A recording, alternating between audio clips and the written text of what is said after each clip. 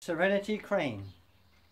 Happiness is like a snowflake which falls, melts in the river and is gone forever.